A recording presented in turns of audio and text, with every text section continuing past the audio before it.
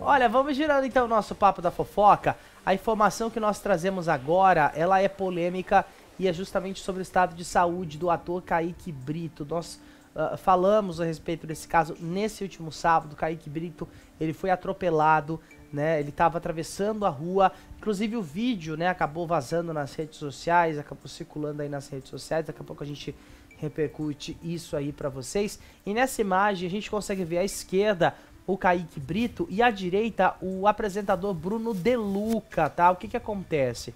Ontem no Fantástico, novas imagens ali foram divulgadas do atropelamento do Kaique Brito e mostraram a reação do Bruno Deluca quando ele viu o acidente. Os dois eles estavam juntos em um quiosque lá na Barra da Tijuca, no Rio de Janeiro, no último sábado. E agora, perdão, com a divulgação dessas imagens, Bruno Deluca vai ser chamado para prestar depoimento à polícia, tá? Essas imagens foram obtidas com exclusividade, gente, pelo Fantástico, tá?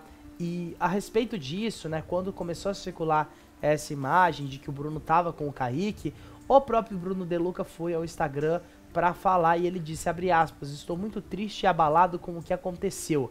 Apreensivo, mas com fé de que Deus vai interceder pelo meu irmão. Quero pedir uma corrente de oração pro Kaique, para ele sair dessa o mais rápido possível. E o que, que aconteceu, gente? Para você que tá pegando a história aí pela metade. O Kaique Brito, ele tava atravessando a rua. Para falar bem a verdade, assim, a gente chegou a mostrar os detalhes aqui no nosso Papo de TV. E o vídeo ele é muito chocante e mostra que o Kaique estava errado. Ele atravessa correndo na frente ali dos carros. Não deveria, não usou a faixa de pedestres. Não é porque ele está no hospital que a gente precisa passar pano também. É importante explicar que ele estava errado na situação. O vídeo mostra muito bem isso. Tava fora da faixa, estava correndo no meio da rua. É claro que a gente tosse, né, pela recuperação dele, mas também não tem como colocar a culpa no motorista. O motorista não tem como imaginar que a pessoa vai passar correndo no meio da rua e frear do mais absoluto nada, tá? Ele atravessou correndo a rua e foi atingido por um carro de aplicativo, né? Uh, na Avenida Lúcio Costa, zona oeste do Rio de Janeiro. Uh, o motorista de aplicativo ele ficou no local, prestou socorro, acionou o corpo de bombeiros e está colaborando. Ele foi à delegacia, isso, isso submeteu a, a uma perícia de alcoolemia, né, para saber se ele tinha ingerido algum tipo de bebida alcoólica.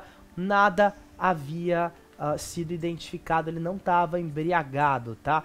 O delegado Ângelo Lages, em conversa aí com a Rede Globo, falou que uh, o exame deu negativo, tá? É, além do Bruno Deluca, a passageira que estava ali no carro, junto com esse motorista de aplicativo, também foi chamada para prestar depoimento. Nós temos aí a imagem, daqui a pouquinho o diretor coloca na, no ar para a gente ver, a imagem da, do que, que é, diretor? A imagem do, do momento em que o Bruno Deluca, ele ah, ok, ok. Já, já, já, já, daqui a pouquinho a gente mostra a imagem do momento em que o Bruno Deluca ele percebe, né, que o Kaique foi atropelado. São imagens realmente fortes. A gente vai mostrar alguns detalhes aqui para vocês, mas preservando ali, né, a, as informações. Ó, essas são as imagens que a gente está vendo. Nesse momento, ah lá, a gente consegue ver que houve o atropelamento ali um pouquinho mais para frente. E mais ali a gente vê aqui do ladinho do, do, do Gui, quase que eu falo Ítalo, do Gui, a gente vê ali o Bruno Deluca, né? Eles estavam em um quiosque na Barra da Tijuca, essas imagens foram divulgadas ontem pelo G1 e mostram a reação do Bruno quando percebe que o Kaique foi atropelado, né? Fica aqui, claro, né, a, a nossa torcida para que ele se recupere desse caso, mas é muito importante que a gente pare também para perceber e para prestar atenção que não é simplesmente um acidente qualquer. Houve uma negligência do Kaique, não do motorista. Você está trafegando por uma via, você está andando em linha reta. É o pedestre, você tem que ter atenção e o pedestre também. Não pode sair correndo na frente de um carro. Não tem pressa que justifique. Agora, olha o estado que tá. Né? Inclusive, a mãe dele, a mãe do Kaique Brito, atualizou o estado de saúde dele. Ele está internado no Hospital Copa Dó, na zona sul do Rio de Janeiro está internado em estado grave e ela conversou com a imprensa hoje cedo e disse o seguinte, ó, as orações a gente agradece, ele está estável. Lógico que ainda precisa de cuidados. Obrigada, obrigada, obrigada. Sou muito grata a todos que estão rezando pelo Kaique. Ele é forte. Nós somos todos fortes. E chega uma atualização agora aqui pra gente que. O que, que é, diretor? Do, o Dudu Azevedo, né? O Dudu Azevedo ele conversou um pouquinho mais cedo com um programa de TV e falou, né, que além do politraumatismo e do traumatismo crânio, crânio-cefálico, né, o Kaique Brito também acumulou líquido no pulmão e teve um sangramento drenado. Foi a entrevista do Dudu Azevedo e ele disse o seguinte, abre aspas, eu tô aqui não em nome da família, mas fui designado a isso por eles. Mas eu sou um amigo que começou o sábado com essa notícia dessa tragédia. Assim que pude, corri para o hospital para prestar socorro e solidariedade à família. Ele ainda diz né, que a médica pareceu otimista nas primeiras 24 e 48 horas após né, o acidente e que o quadro do Kaique ele, eh, ele permanece estável e que de alguma forma isso é positivo. Ele disse ainda que o Kaique estava com respiração mecânica, ele foi entubado, foi sedado para que pudessem administrar a situação médica, mas segundo ele, ouvindo a médica, a sensação que ele tem é que, abre aspas, apesar da luta ser grande, a sensação foi positiva, fecha aspas. Complicadíssima essa, essa situação. E eu queria trazer aqui, antes de passar a bola para você, uma apuração que foi trazida pelo portal UOL, tá? Eles conversaram com o Diógenes da Silva, que é o motorista, né, que acabou atropelando o Kaique Brito, e ele disse que o ator apareceu, abre aspas, repentinamente correndo, fecha aspas, no meio da pista, né?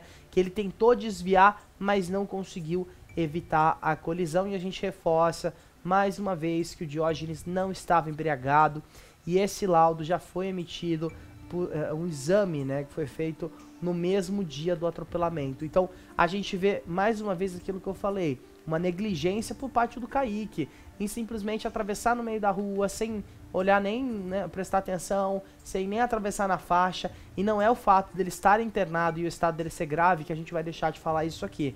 É muito importante, até para que isso não sirva de exemplo. Ai meu Deus, eu tô com pressa, vou atravessar correndo. Não é assim que funciona.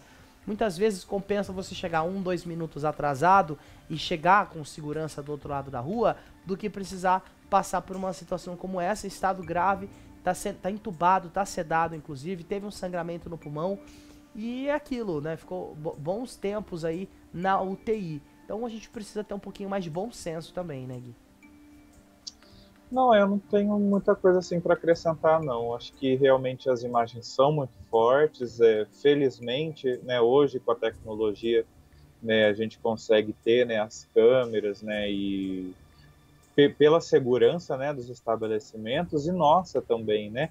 Em situações como essa, é, ajudam né, a esclarecer, a entender o que aconteceu, é, reforçando também né, o que você disse em relação ao motorista, né, que a informação que você levantou, que é, foi feito o exame, ele não, não estava embriagado, é, inclusive o motorista é motorista de aplicativo e ele estava com uma mãe e um bebê, se eu não me engano. Eu vi no final de semana essas informações. É, ele estava né, a trabalho ali, né, e estava numa via que é, ele podia né, é, acelerar, né, andar, é uma via expressa, andar né, tranquilamente.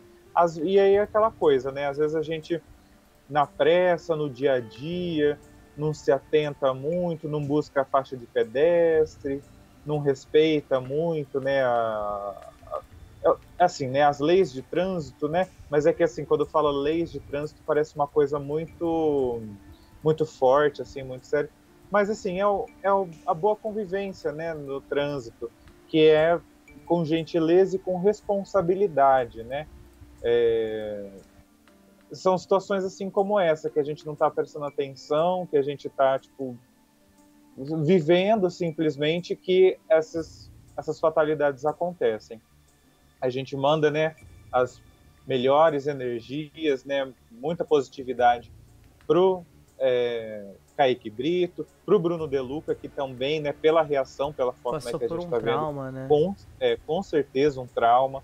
Para Stephanie Brito também, né, que a gente viu imagens dela, né, é, visitando, né, saindo, né, do hospital, muito abalada. para toda a família, para o Dudu e para os fãs também, né, do Kaique. Tomara que tudo se resolva bem, que ele volte, né, com, com saúde o quanto antes. É verdade, é um grande ator, né? Fez a história, como não lembrar da Bernadette em Chocolate com Pimenta, mas isso, o, o, talento dele e os nossos desejos de melhora não tiram o fato dele estar errado.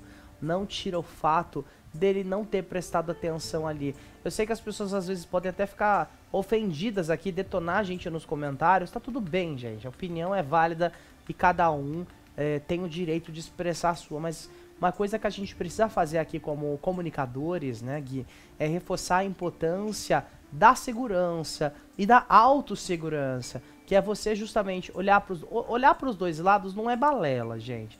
Faixa de pedestres também não é, porque se fosse balela não existiria. Não é mais uma nossa, mas que burocracia. Não, é pela sua segurança. Imagina você atravessar o meio de uma. É, é, é tipo as pessoas que atravessam o meio das avenidas, das avenidas não, das rodovias movimentadas, né? Que a gente às vezes está viajando e vê as pessoas correndo de um lado para o outro nas, nas rodovias porque tem preguiça de caminhar mais um pouquinho e passar pela passarela, né? Então, é, é, é por que, que existe passarela? Por que, que às vezes existem barreiras para a pessoa não atravessar?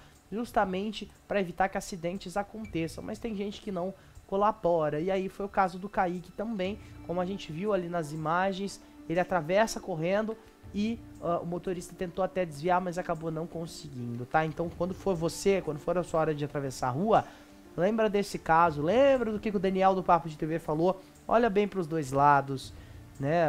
Vai até a faixa de pedestres. Ah, mas a faixa é muito longe ou não tem, que às vezes não tem mesmo. Olha para os dois lados. Tá vindo carro? Vou esperar 30 segundinhos da minha vida aqui. Tá tudo bem. Eu não vou morrer de esperar mas posso acabar morrendo se eu não esperar. Pensa nisso, tá? Melhor esperar 30 segundos, né, para conseguir é... atravessar do que acontecer, né, uma situação como essa e parar no hospital. Né? É verdade, muitas vezes deixar mãe, pai, é, família chorando, é muito triste. De verdade, a gente segue acompanhando todo o estado de saúde do Kaique Brito. Força para a família, força para o Bruno Deluca e para o Kaique também. A gente espera em breve noticiar que ele já está recuperado e que ele já está em casa, tá certo? Olha,